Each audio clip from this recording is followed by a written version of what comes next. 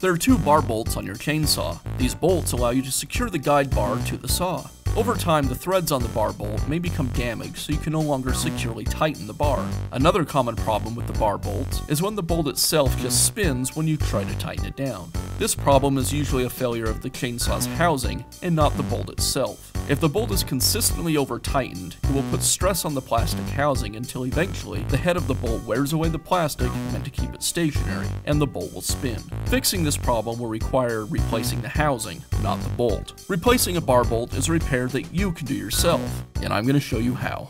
Hi, I'm Mark Socha. Do-it-yourself repairs like these are easier than you might think. From lawn machines to cordless drills, kitchen mixers, Outdoor grills. our how-to videos walk you through each repair from start to finish. So doing it yourself means never having to do it alone. Let's get started. I'll begin by removing the side cover, the chain, and the bar.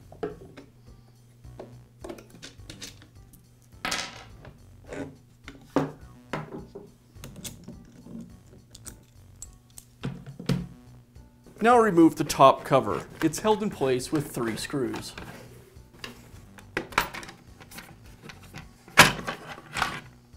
Now remove the starter assembly.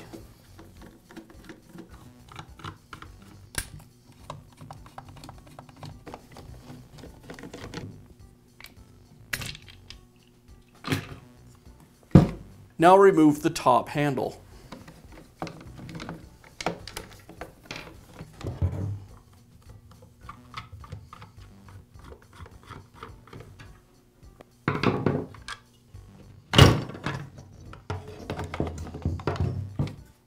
Now remove the clutch drum.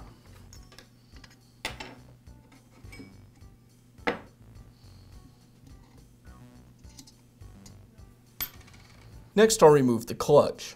There's a number of ways you can do this. You can just use a pair of adjustable pliers. If you do that, it's a good idea to put a rag over the clutch so you don't damage it with the pliers. And also you'll need to bind the piston so the crankshaft can't spin. To do that, you'll remove the spark plug and then insert a short length of starter rope into the cylinder and that'll bind the piston between the rope and the top of the cylinder. The better method is to use a clutch removal tool. There's a couple of pins that line up with tabs on the clutch. You place the tool over the shaft and then place a socket onto the tool and use a ratchet wrench to remove it. Again, you'll need to bind the cylinder if you use this, or I think the better way is to use an impact wrench if you have one. With the impact wrench, the compression inside the cylinder will be great enough that you don't need to bind up the piston. Just simply the compression will keep the engine from turning over.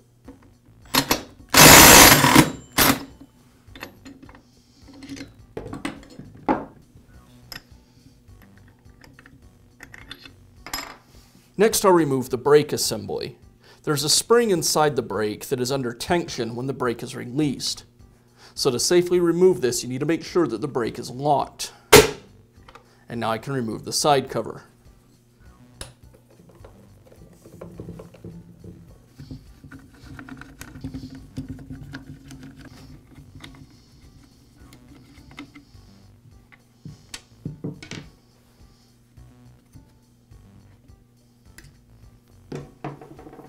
Now I can remove the oil pump assembly.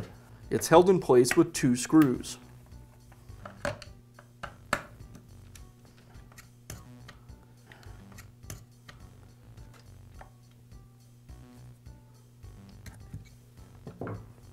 And I'll remove the oil pump gear.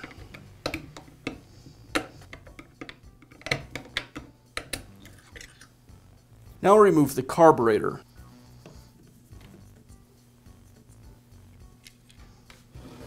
I'll pull the trigger so I can access the end of the linkage and pull it away from the trigger.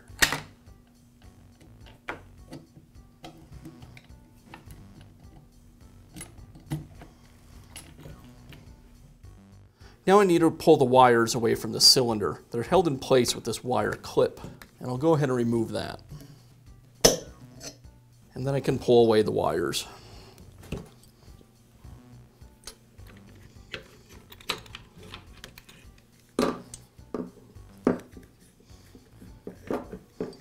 Now remove the flywheel. Again, I'm going to use an impact to remove the flywheel nut, but if you don't have an impact, you can use a ratchet wrench. You will just need to bind the cylinder so that the crankshaft can't spin.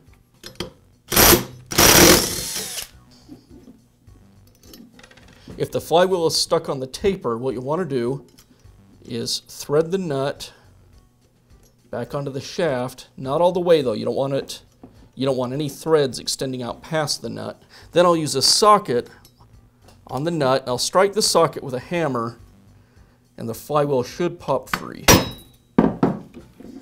There we go. Remove the nut and the flywheel comes free.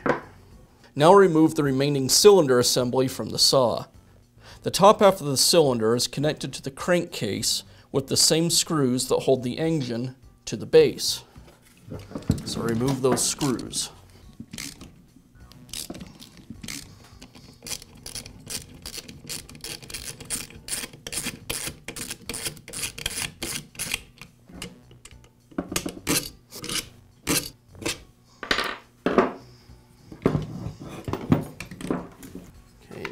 Able to pull the cylinder away from the piston.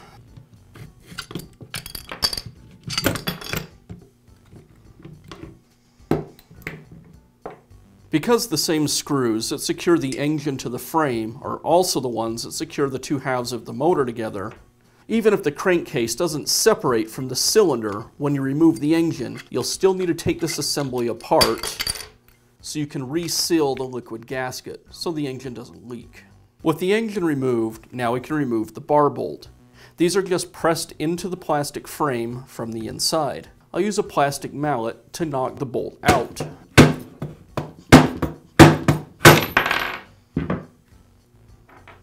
Now install the new bar bolt.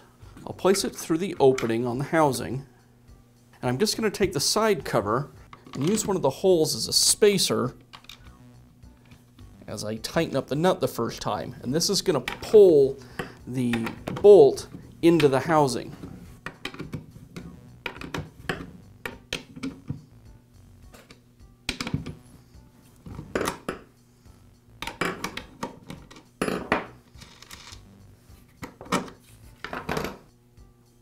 The joint between the cylinder and the crankcase is sealed with some liquid gasket. So before we reassemble this, I need to clean off all the old liquid gasket to get ready for the new. I'll use a razor blade to carefully scrape the gasket material away. Now install a bead of liquid gasket around all of the sealing surfaces on the crankcase and the cylinder. This is a case where less is usually better. On the cylinder side, I need just a small bead up against these shoulders for the bearings. Now we can begin reassembling the saw. Before I slide it into the cylinder, I'll again add a little bit of oil to it so it's not dry when the saw is started. Now I can slide the piston into the cylinder. Before I do, I want to make sure that I have the porting on the piston pointed towards the carburetor. I'll line up the piston ring with the end gap pin and then insert the piston into the cylinder.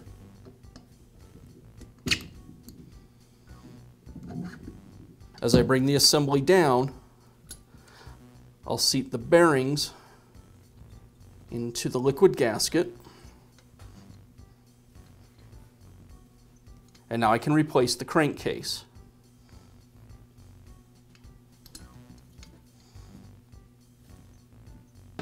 And this will get snugged up when we install the engine back into the frame. This is one of the clips that secure the top cover. If this clip on the front of the saw has fallen out, you'll want to make sure you reinstall it now, as you won't have another chance. Now place the engine back into the frame. Just want to be careful that the crankcase doesn't come free from the cylinder as I do this. Now it's in place, I can resecure it with the bolts. I'll get each of the bolts started. Now just work my way around the engine, slowly bringing the two halves of the engine back together, the cylinder and the crankcase. Now I don't have an exact torque spec for these bolts. What I want to accomplish is just making a good seal with that liquid gasket. So they don't need to be super tight. Basically just hand tight with the screwdriver is all it'll take. And that ought to do it. Now reinstall the flywheel. Make sure I line up the key with the groove in the shaft.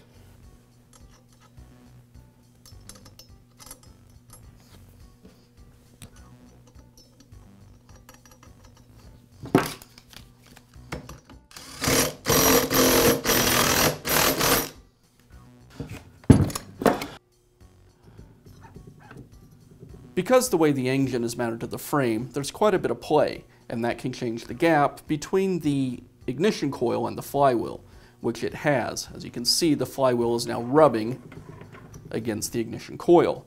So I need to reset that gap. To do that, I'll just loosen the screws on the ignition coil,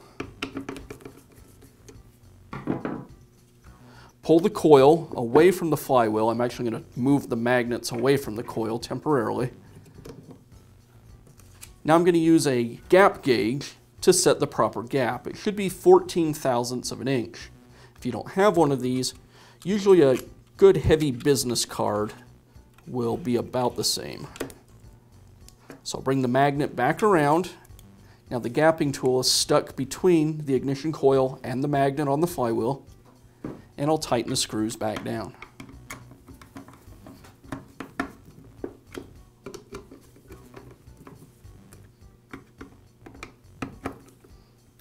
And remove the gapping tool. Now reinstall the oil pump gear. Get it started on the shaft, and then it's just a matter of using a screwdriver to slowly push it onto the shaft as the spring expands open. Now we just want to work it onto the shaft until it's centered in the flat portion of the shaft.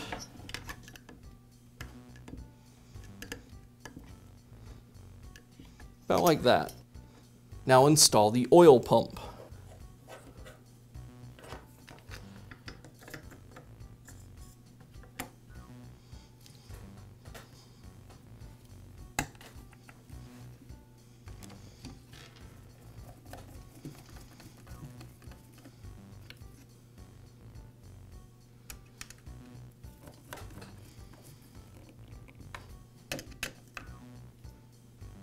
Now I can reinstall the chain brake assembly. I'll line it up with the housings, and then you might need to just slightly move the brake lever to get the clutch to line up. Just like that. And now I can secure it with the screws.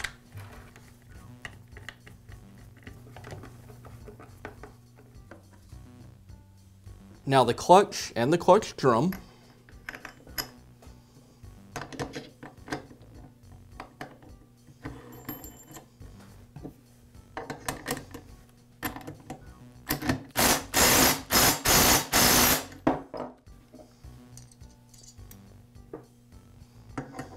Need to release the brake to get the clutch drum in place.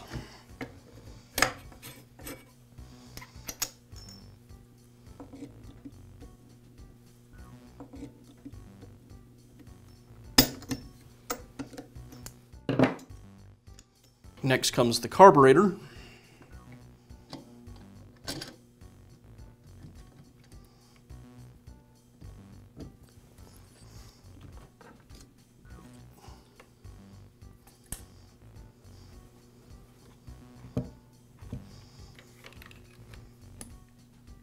Slide the linkage back into place.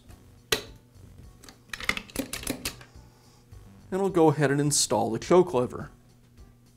Another of my top cover clips fell off over here, so I'll reinstall this now. This will be my last chance to install this clip.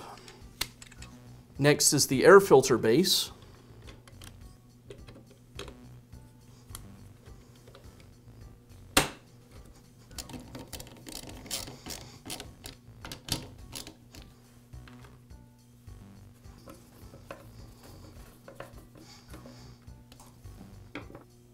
Now I'll tuck the wires out of the way and secure them with the clip.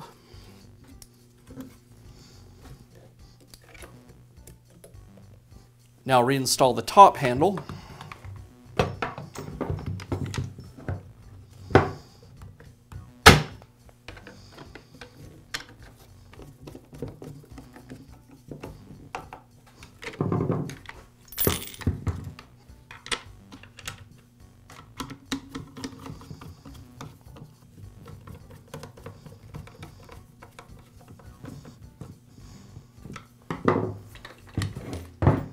And I'll place the spark plug boot back onto the spark plug.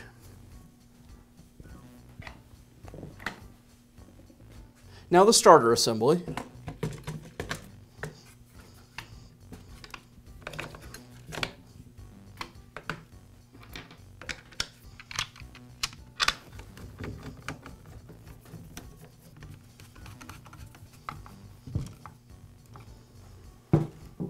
Now reinstall the air filter.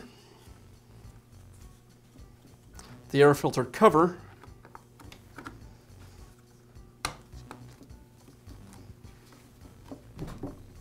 and the top cover.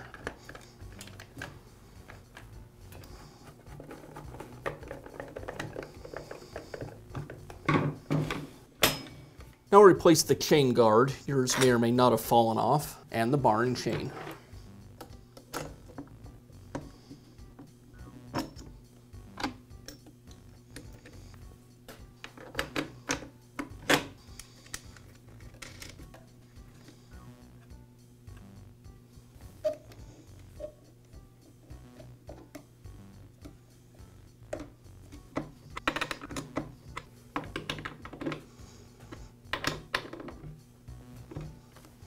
Be sure to check back often for new videos and expert advice. If you found this video helpful, give us a thumbs up